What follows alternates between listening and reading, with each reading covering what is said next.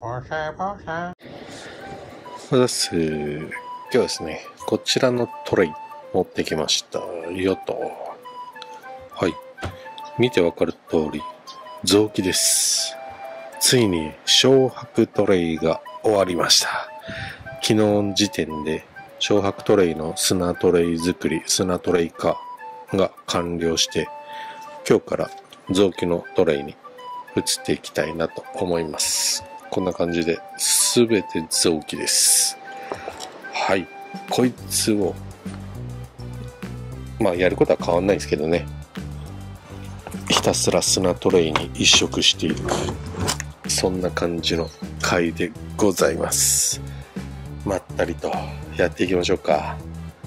もうこの辺はね、もういろんなもの乗っててね、楽しいですよ。昨日は、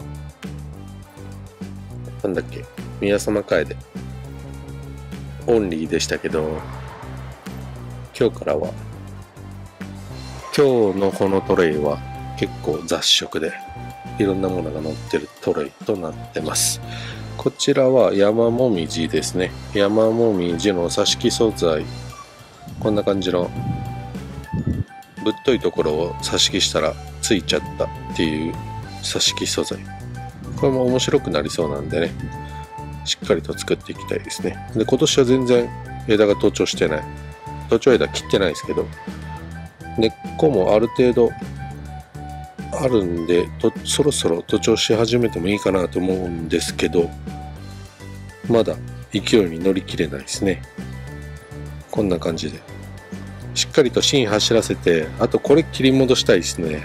こいつ切り戻して綺麗にして、芯走らせて、で、これの切り戻し傷を任せつつ、足元作っていく、ボディ作っていく、そんな感じですね。はい。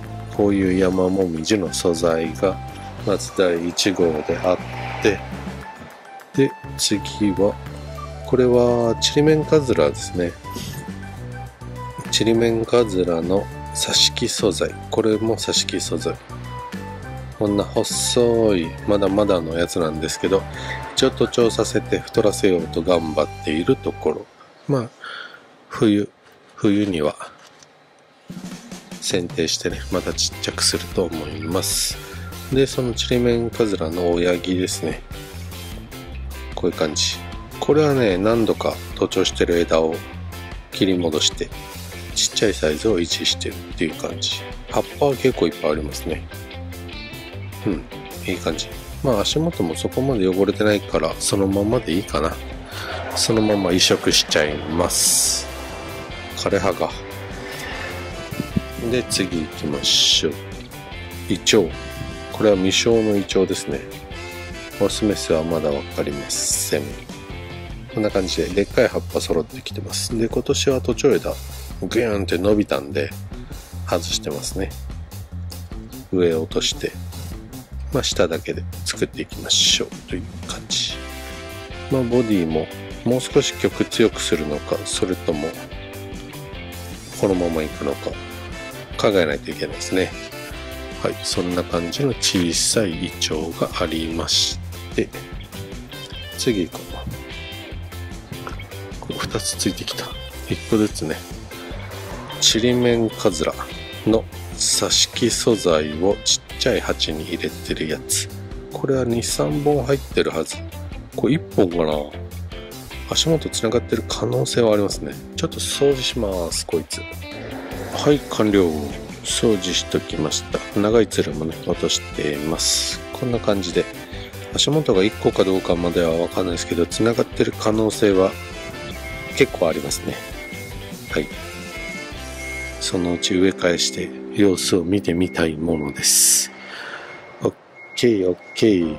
じゃあちょっと豆サイズのやついきましょうか。豆サイズ。こういうやつね。これ山もみじですね。葉っぱが小さくとどまってますね。いい感じに。幹、幹も古さが出てきて、まだまだ若いんですけどね。未生の素材で。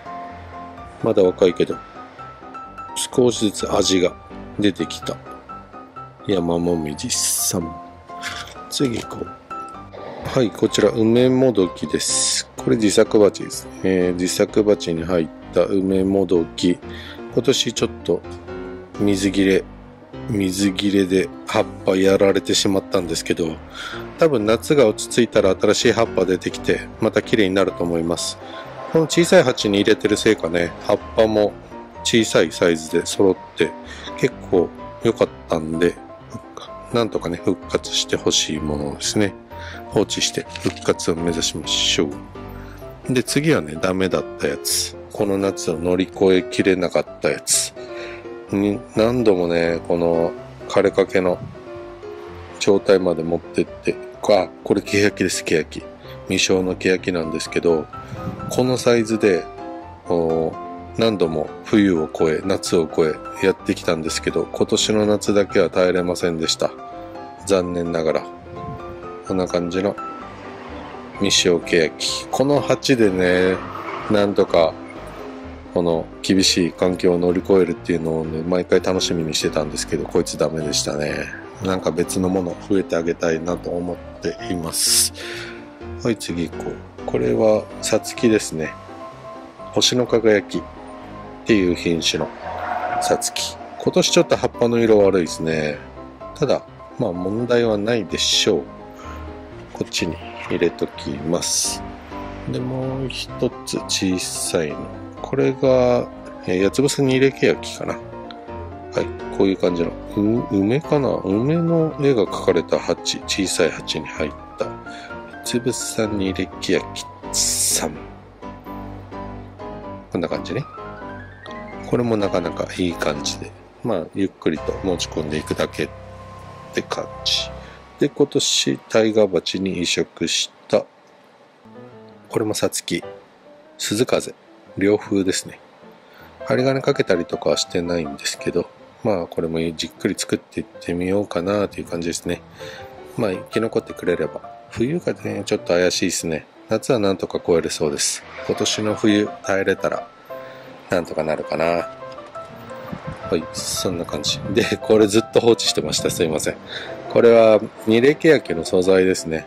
二レケヤキの挿し木素材を頭と調させて差し枝と調させて太らせようとしているところこういう感じの素材まあ大したものじゃないんですけどこのサイズでね作ったら面白そうだなと思って今ちっちゃく作ってるところもうちょっとボディ落ち着いてきたら小さい鉢に入れて豆豆に入れケ焼き作っても面白いかななんて思ってますはいこれでちっちゃいサイズが終わったのかなで、先ほどの八つぶさに入れき焼き、こいつの頭を挿し木したんだったかな落とした枝をね、挿し木して、ずっと放置してるやつ。こんな感じで、根っこもすごいことになってます。こういう感じでね、でかくなってきたんで、またこれでかくして、もう一つね、八つぶさに入れき焼きの盆栽をちっちゃいやつ作りたいんですけど、どんな感じで育つのか今から楽しみです。結構すごいことになってる。なんかあれですね、磯山椒みたいですね。枝の感じは。はい。こういう感じで、八つぶさに入れ焼きの挿し木素材。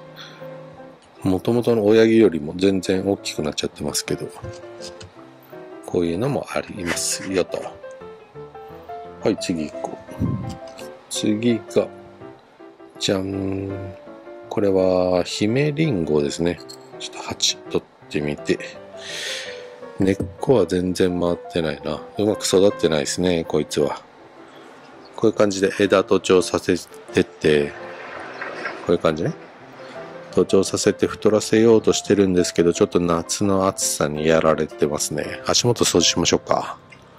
はい、足元掃除しときました。まあ、大した素材ではないっすね。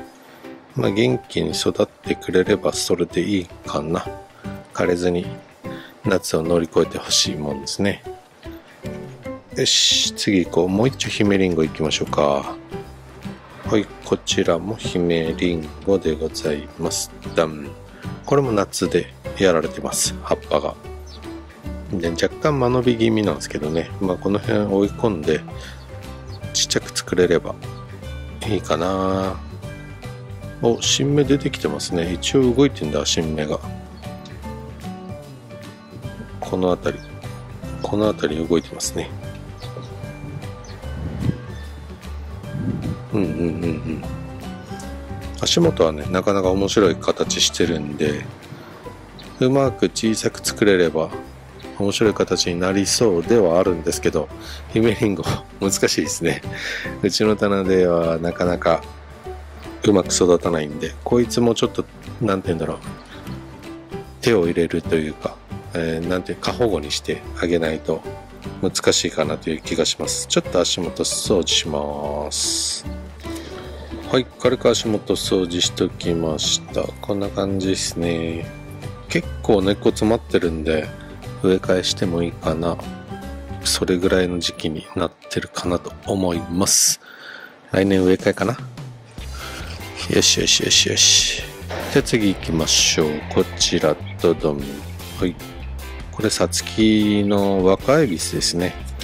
若恵比寿っていう品種のさつき今年がっつりね頭飛ばして熟を下げたんですけどその後夏に1回やられたんですよね。で葉っぱ茶色いところ点々としてるんですけどその後過保護にしてたら新しい芽が夏なのに動き始めてるっていう感じ。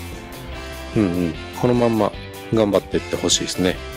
少しずつまた枝増やしてって。